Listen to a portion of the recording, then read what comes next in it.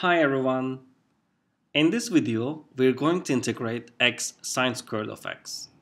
For this integration, the tools we're going to use are half angle identity for sine squared of x and integration by parts formula. Let's start. Our first step is to substitute sine squared of x with our half angle identity, which is going to be 1 half times 1 minus cosine of 2x.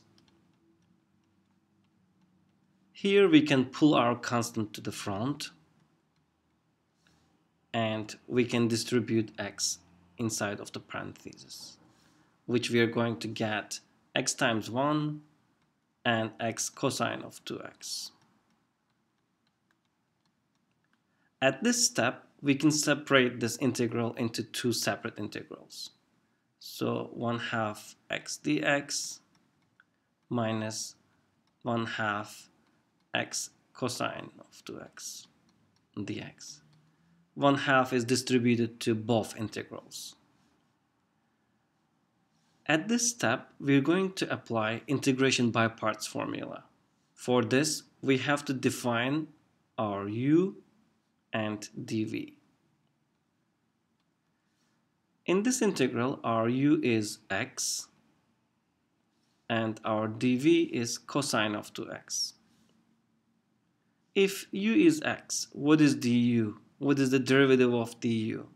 1 dx or just dx. If dv is cosine 2x dx, what is the antiderivative of cosine of 2x? It is 1 half sine of 2x. So we are differentiating our u, integrating our dv. Now we can apply integration by parts formula. So negative 1 half in front. Let me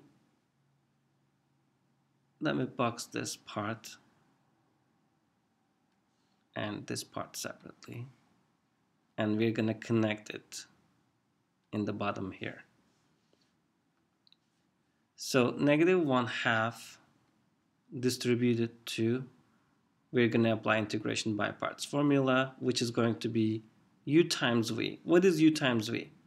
x times 1 half sine of 2x, which we can write as 1 half x sine of 2x, minus integral of v du. What is v? 1 half sine of 2x, which we can pull constant to the front, sine of 2x what is du dx? Okay, at this point we can distribute one half to both terms and we're gonna integrate this part. So let's rewrite here this part 1 half x sine of 2x minus 1 half what is the antiderivative of sine of 2x?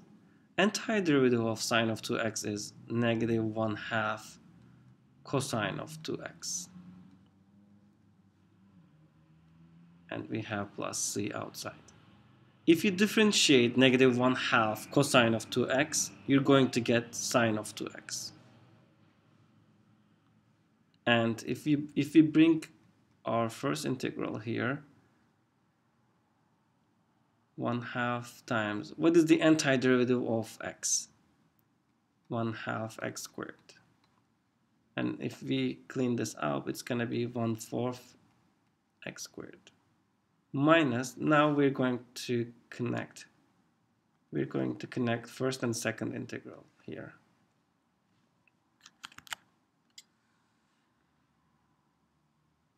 We will continue here. So it's going to be 1 fourth x squared minus 1 half times 1 half is 1 fourth. Let's open up here. x sine of 2x minus 1 half times 1 half is 1 fourth, 1 fourth times 1 half is 1 eighth, negative times negative is positive, positive times negative is negative. So we're gonna get negative 1 8 times cosine of 2x plus c. This is the final answer. You can box it. If you would like to condense this expression, you can combine it at the LCD 8, which you're going to get negative 2x sine of 2x minus x plus cosine of 2x all over 8.